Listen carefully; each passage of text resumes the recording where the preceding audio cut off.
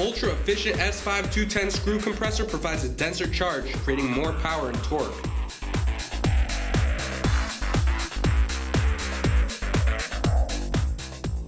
Installation time of 3 or 4 hours, no cutting or welding of the standard body at all. Fully integrated supercharger system. No external oil lines to add. The compressor has its own internal oil supply. Dedicated tuning and support by Hypertech, and this is programmable for vehicle variables such as tires and gear ratios.